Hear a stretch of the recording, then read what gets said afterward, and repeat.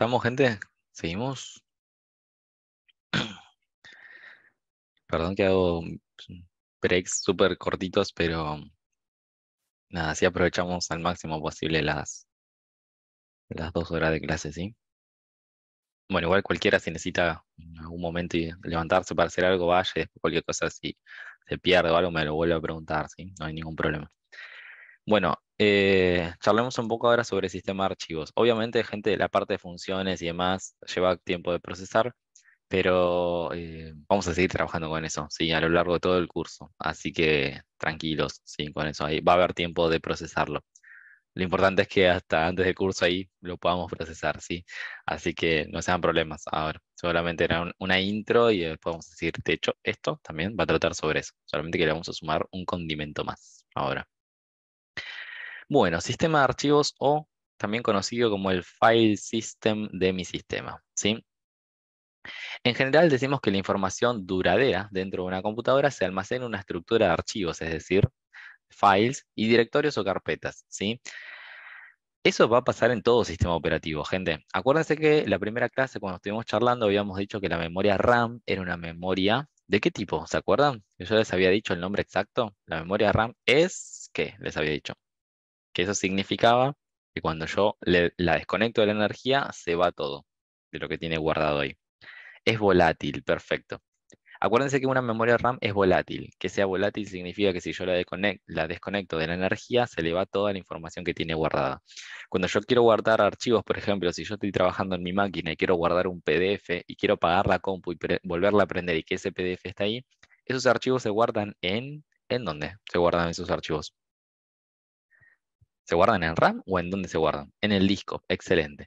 Cuando yo guardo un archivo PDF, cuando yo guardo una imagen, cuando yo descargo algo y demás, todos esos archivos no van a parar a memoria RAM, sino que en realidad van a parar a disco, porque el disco es persistente, es decir, es no volátil. El disco tiene una estructura de almacenamiento, ¿sí? De archivos y directorios. Podemos pensarlo como que es un árbol. De hecho, justamente lo que termina generando es un árbol gigante de cosas. ¿sí? Yo voy a tener directorios y dentro de los directorios que puedo tener otros directorios, es decir, otras carpetas. Y dentro de esas carpetas que puedo tener. Piensen eso que va a ser un, sí, es un matete. O sea, cómo está organizado es un lío bárbaro. Porque yo tengo carpetas que dentro de esas carpetas puedo tener más carpetas o puedo tener archivos. Entonces, una carpeta puede tener otras carpetas o archivos. Y así Imagínense las ramificaciones que a ustedes se les venga a la cabeza, ¿sí? Entonces, de esa forma nosotros vamos a almacenar ahí los archivos. Fíjense que dice, las carpetas contienen archivos y otras carpetas, mientras que los archivos van a contener la información propiamente dicha, cuya interpretación depende de su formato. Es decir, todo lo que nosotros guardamos en una máquina son archivos, en realidad. Lo que guardamos en disco son archivos. El tema es que cada archivo va a tener un nombre del archivo y va a tener asociado su extensión o su formato. La extensión va a ir separada por un punto. Por ejemplo, yo puedo decir, eh, no sé, curriculum vitae.txt. Cuando yo le pongo .txt, yo sé que ese archivito está o va a ser interpretado como un archivo de tipo txt. Eso significa que determinados programas lo van a abrir y lo van a mostrar de una forma distinta. O yo puedo tener, no sé, otro archivo que se llame ingresosmensuales.xlsx. XLSX es extensión que lo interpreta. ¿Qué programa? ¿Saben qué programa interpreta el XLSX? El Excel, excelente, gente. ¿Sí? Cuando yo tengo un archivito de Excel, ¿sí? la extensión con la que Excel guarda sus archivos es XLSX. Entonces, un ejemplo de archivo podría ser, no sé, ingresos mensuales.xlsx. Eso, sí, tranquilamente Windows agarra y ya me lo muestra con un iconito de Excel y cuando yo le doy doble clic, se abre el archivo, lo abre Excel y Excel tiene la capacidad de mostrártelo de una forma bella u ordenada, ¿sí? porque lo interpreta y sabe que es de su tipo. Bueno, Fíjense que acá decimos que en el sistema operativo Windows el padre de todas las carpetas es la unidad de almacenamiento o disco rígido, por ejemplo, puede ser la unidad C o la unidad D. Fíjense que acá dice también en Windows, en general, el formato de archivo viene acompañado de una extensión, ¿sí? Bueno, que es lo que les comentaba recién. Importante, gente, ¿sí? Hay un sistema que es, que, que justamente es el principal que se encarga de hacer todo esto y justamente es el sistema de archivos. El sistema operativo viene acompañado ¿sí? de un file system o sistema de archivos. El que se encarga, el sistema que se encarga justamente de la manipulación de todos estos archivos, de cómo escribirlos en el disco, de cómo leerlos desde el disco, se llama sistema de archivos. ¿sí? Entonces, el sistema de archivos se encarga justamente de eso, de escribir en el disco y de leer del disco, y de organizar en carpetas o de distintas formas a los archivos. Existen muchos sistemas de archivos o file systems, ¿sí? Hay muchas formas, ¿sí? De las que pueden trabajar estos sistemas de archivos. De hecho, Windows puede trabajar con varios formatos, ¿sí? Linux también trabaja con otros formatos. Antes eran incompatibles y luego se volvieron cada vez más compatibles. Hoy en día sí pueden trabajar en común y corriente, o sea, pueden trabajar exactamente con los mismos formatos o con las mismas distribuciones de sistemas de archivos, tanto Linux como Windows, eh, como MacOS, ¿sí?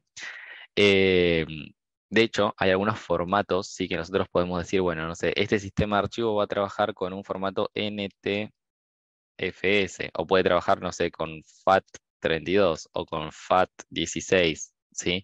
O bueno, después están todos los que te provee también Linux, o bueno, el que tiene MacOS, pero generalmente, uy, lo escribí mal a NTFS, NTFS, puse una E de más, perdón, esa E de más no iba. Eh, Hoy en día todos ¿sí? coinciden en NTFS.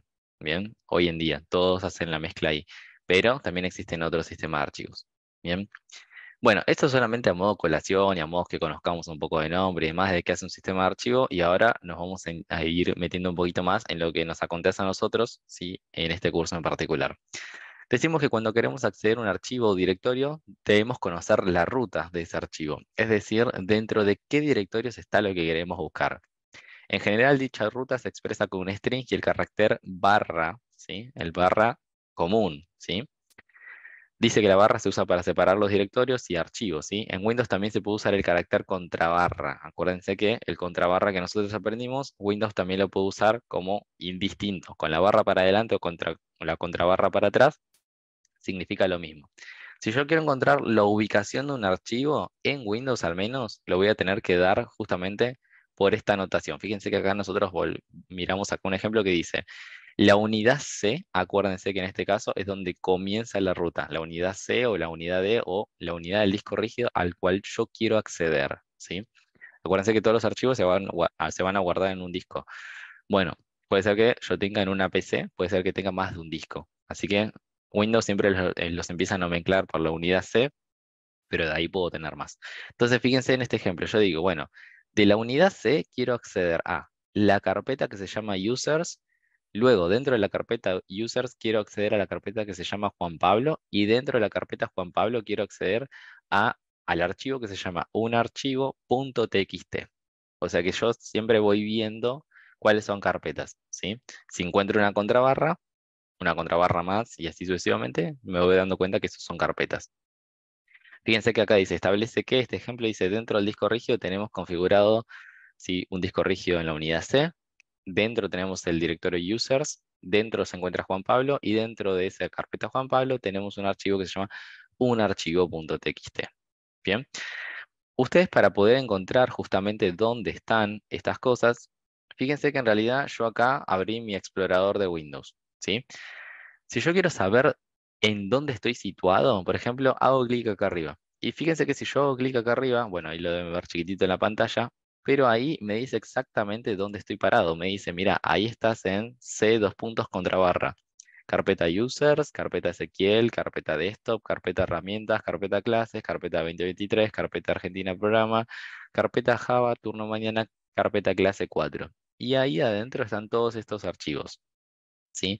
De hecho, por ejemplo, yo lo que podría hacer es, a ver, fíjense que acá digo, tengo el nombre del archivo y esta es la extensión, .txt, ¿bien? Y acá me dice que es un tipo de documento de texto y acá tengo otras.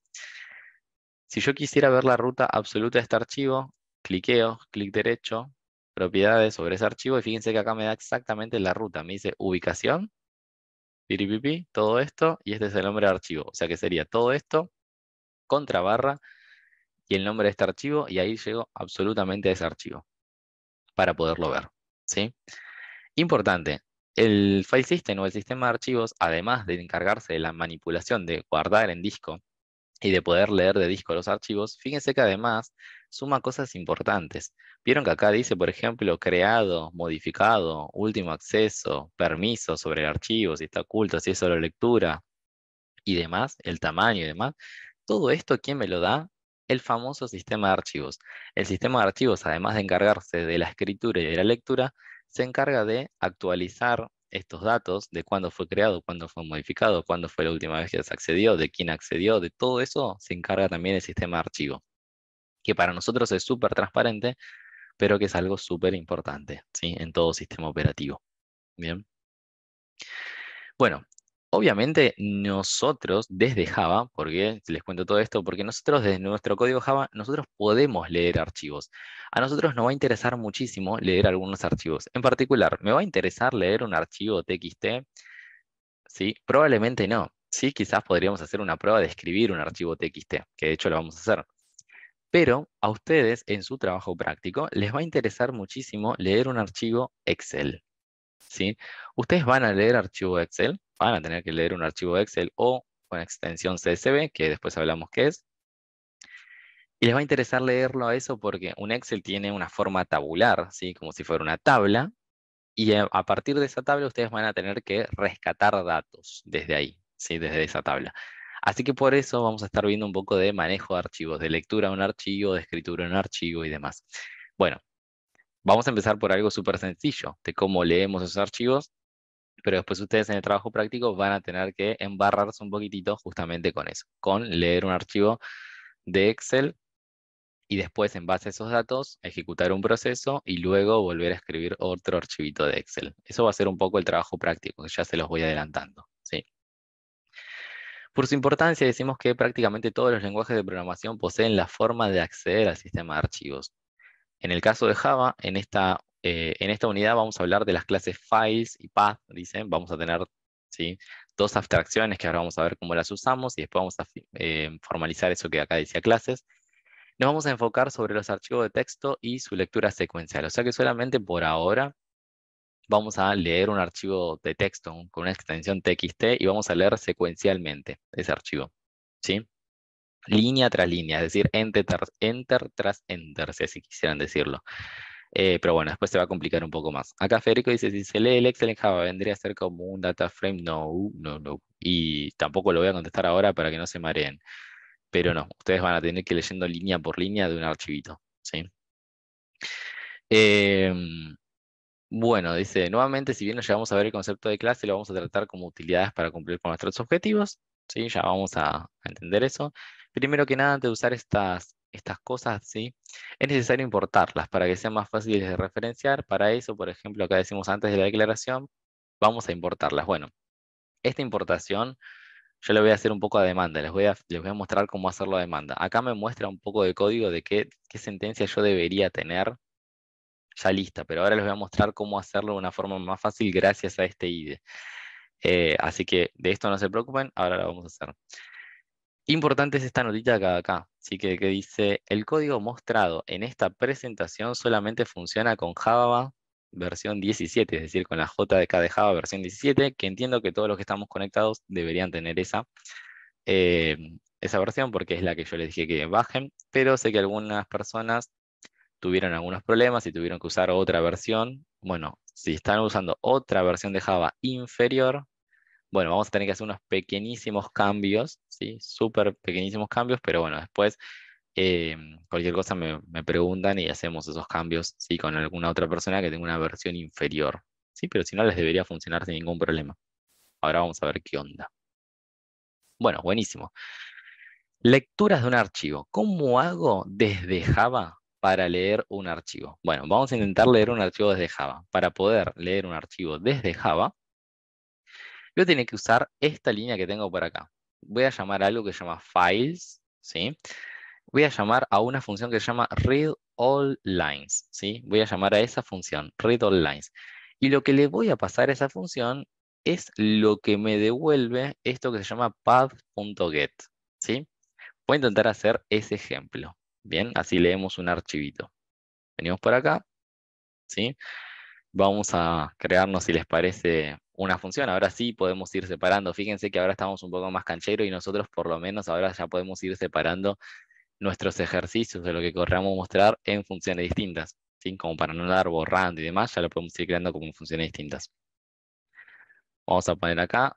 Esto lo voy a hacer void. Eh, ejemplo, lectura, archivo. Voy a poner acá. ¿sí? Acuérdense que si es de tipo void, significa que esta función no va a devolver nada y no va a recibir ningún parámetro. Solamente lo estoy haciendo para separarlo y que, me no, me quede todo junto acá. Entonces vamos a poner acá, vamos a llamar a ejemplo lectura de archivo. Cuando se ejecute esto, o sea, cuando se ejecute esta línea, se va a empezar a ejecutar toda nuestra función que tenemos acá. Bueno, vamos a hacer exactamente lo que nos decía por ahí la presentación. Yo quiero ahora poder leer un archivo. Buenísimo. Para poder leer un archivo, entonces vamos a llamar, ¿sí? En este caso, vamos a llamar a files, ¿sí? Y acá, fíjense que yo escribí, y esto es importante, gente, yo escribí la palabra files. Si estamos en IntelliJ, IntelliJ, fíjense que escribo una palabra y me sugiere cosas.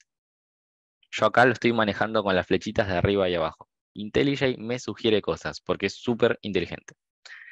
Entonces, esto que me sugiere me está diciendo, ese, ¿vos querés referenciar al archivo java.nio.file? Sí, justamente era el import que la presentación me había dicho, tenés que realizar esta sentencia import antes de poder utilizar todo esto que vamos a utilizar. Buenísimo. Para poder realizar un import, ¿sí? con ayuda del IDE, para que yo no me confunda, yo digo, quiero usar la clase files, quiero usar esto. ¿sí? Le voy a dar Enter o voy a tocar doble clic acá, que era justo el que me proponía la PPT que nosotros usemos. Entonces le voy a dar Enter ahí, o sea, me muevo para arriba y para abajo y cuando lo encuentro le doy Enter o le hago doble clic ahí. Cuando yo le doy Enter, presten atención que arriba se hizo esta importación solo. ¿Vieron que hace un ratito en la, en la, en la slide anterior me decía realiza este import? Yo dije, no lo voy a hacer. ¿Por qué? Porque lo hice con ayuda del IDE. Fíjense, borro esto de nuevo. Miren lo que pasa acá arriba, no hay ningún import. Yo digo files y fíjense que acá ya me lo sugirió el IDE. Cuando le doy enter ahí, hizo el import solo. ¿Qué es este import? Bien, y acá empiezo a aclarar una cosa. Cuando nosotros estamos escribiendo código Java, no vamos a escribir todo, todo, todo, todo nuestro código en un solo archivito. Vamos a ir escribiendo cosas en distintos archivos. De hecho, fíjense que nosotros hasta ahora vinimos trabajando solamente en un único archivo que se llama main.java. Todavía no creamos más archivos. Pero la realidad es que en ningún programa, en ningún programa, vos vas a, hacer solamente un archivo. Siempre vas a tener lógicas separadas por archivo. O sea, vas a separar las lógicas en funciones y en distintos archivos para que te quede siempre más prolijo. Bueno, esto, ¿sí? Ya está escrito en otro archivo, ¿sí? Este archivo es de Java propio, ¿sí? Por eso nosotros decimos, ok, si yo quiero usar algo que está escrito en otro archivo, voy a tener que acá poner una sentencia import.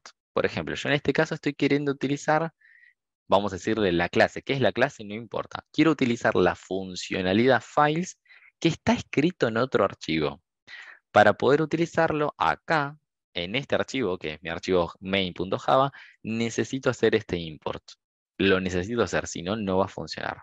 Bien. Bueno, una vez que tengo ese import, ya puedo seguir escribiendo. Y ahora vamos a poner acá read all lines. Fíjense que acá yo pongo la palabra punto .read y también me va sugiriendo. Así que no hace falta que me acuerde exactamente cómo se llamaba, sino que acá me lo sugiere, le doy enter y ya sabe, ¿sí? me lo autocompleta todo el resto. Read all lines. Read all lines recibe como parámetro, ¿sí? Algo que le tengo que mandar que va a ser, ¿sí? En este caso. Fíjense que acá nosotros teníamos el path.get, lo mismo, ¿sí? Vamos a poner acá paths. Cuando ponemos path, fíjense que me lo sugiere otra vez. Voy a poner que sí. Acá me lo importó otra vez. Fíjense que acá lo acaba de importar. Punto get. Y entre comillas, le voy a mandar, en este caso, la ruta a mi archivo. Exactamente la ruta a mi archivo. Yo voy a usar este archivo que es un ejemplo TXT. ¿sí? Este ejemplo TXT vamos a ponerle, acá está, le voy a poner eh, Ezequiel Lucas. Bien, el contenido de este archivito TXT dice Ezequiel Lucas. Bueno, mi directorio es todo esto que lo voy a copiar desde acá arriba. Cliqueo, copio con control C. ¿sí? Acuérdense que para copiar, control C, super va. Copio. Acá vamos a poner, si les parece, igual directorio. Vamos a hacerlo separado. Eh, ruta a mi archivo es igual a todo esto. Y acá me falta el nombre del archivo. Fíjense cómo lo puso. Acuérdense que con el contrabarra, para que el contrabarra se pueda usar en un string, tengo que usar doble contrabarra, porque el contrabarra solo es el carácter de escape. ¿sí? Y contrabarra final, ejemplo.txt. Entonces acá tengo la ruta a mi archivo. Todo esto es la ruta a mi archivo. ¿sí? Ejemplo.txt. Buenísimo. Este string que está queriendo representar la ruta a mi archivo, se lo voy a pasar acá. A paths.get, ruta a mi archivo. Ahí se lo paso, ¿sí? Una cosita que tenemos que prestar atención. Fíjense que read onlines por acá me figura en rojo. Si me figura en rojo, significa que eso no va a funcionar cuando yo lo quiera compilar. Fíjense que acá ya me muestra que hay un error. No va a funcionar. ¿Por qué no va a funcionar? Porque puede ser que yo esté queriendo leer un archivo que no exista. Si yo quiero leer un archivo que no existe, Java ¿sí? va a lanzar lo que se conoce como excepción. Es decir, vamos a suponer que yo quiero leer un archivo, pero ese archivo no existe. ¿Y qué hace Java? ¿Cómo maneja eso? Bueno, eso puede llegar a lanzar un error. Por lo tanto, esta función que se llama readOnLines me dice, ojo, porque esta función puede llegar a lanzar una excepción. Puede ser que Java, en momento de ejecución, me tire una alerta y el programa se detenga. Las excepciones causan justamente eso. Te genera una alerta y el programa se detiene. ¿sí? Esas excepciones yo de alguna forma las tengo que controlar o manejar. Ya vamos a ver después un poquito más de excepciones. Por ahora lo único que vamos a hacer para solucionarlo es lo siguiente. Con el IDE, con ayuda del IDE, me voy a parar arriba de lo rojito arriba de lo rojito.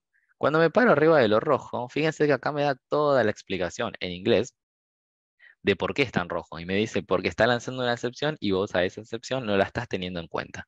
Para solucionarlo, me paro. Me paro arriba sin hacer clic. ¿eh? Me paro. Voy hasta acá, hasta acá, hasta acá, a donde dice Add Exception to Method Signature. Cliqueo ahí. Agrega esto. Pero ahora, cuando agrego esto, se me rompió lo de acá arriba. Bien. Voy a hacer lo mismo. Me paro, cliqueo de nuevo ahí donde dice Add Exception to Method Signature. ¿Qué acabo de hacer? Después vamos a entender un poco más sobre, sobre excepciones y demás. Esto que acaba de agregar al lado de la definición de mi función, lo que significa es, dice, este método puede llegar a lanzar una excepción de entrada-salida. Dice IO, Input-Output puede llegar a lanzar una excepción de entrada-salida. ¿sí? Nosotros le decimos, cuando, eh, se le llama entrada-salida a todo aquello que involucra una operación de lectura o escritura en disco. ¿Sí? Entonces acá nosotros decimos, puede llegar a lanzar una excepción de escritura, de, escritura o lectura.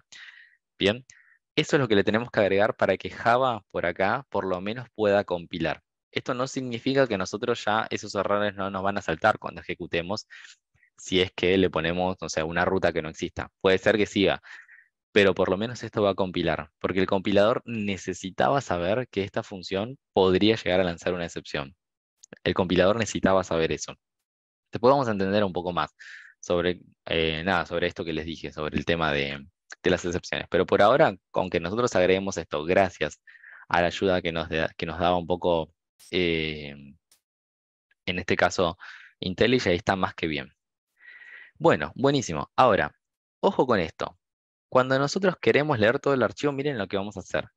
Esto lo voy a cortar con control X y lo que voy a hacer es meterme en un for.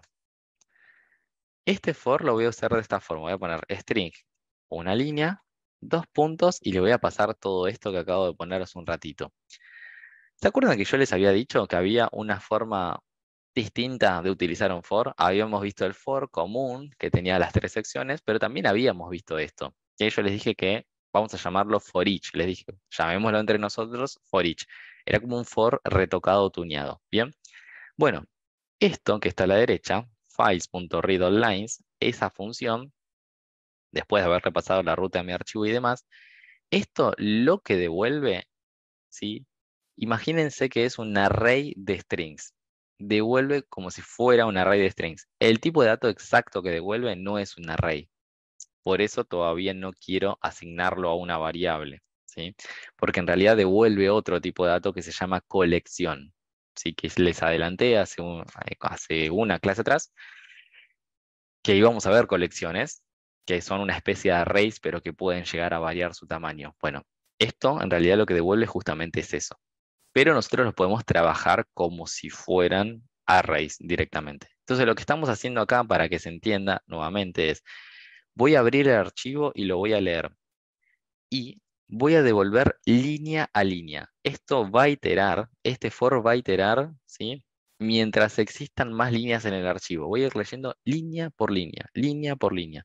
Y cada línea se va a asignar a esta variable, a la variable que yo llamé una línea. Y lo que voy a hacer acá es un system.out.print, system.out.print de una línea. Probémoslo para que se entienda. Compilo. Recuerden que mi archivito txt tiene el valor de Lucas, enter eh, perdón, Ezequiel, enter Lucas, ¿sí? Así que vamos a ejecutarlo. Acuérdense que cuando se ejecuta se llama esto. Acuérdense que se va a mostrar los numeritos.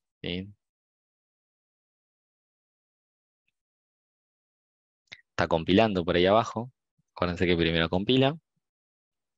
Fíjense que ahí mostró por acá lo que habíamos hecho antes. Alejo, bienvenido. Mostró acá eh, después el promedio que era un 7.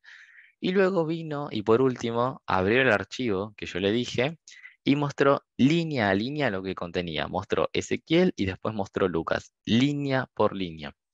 Lo que va a hacer files.readOnLines es cuando encuentre un enter, eso ¿sí? ya es un nuevo string.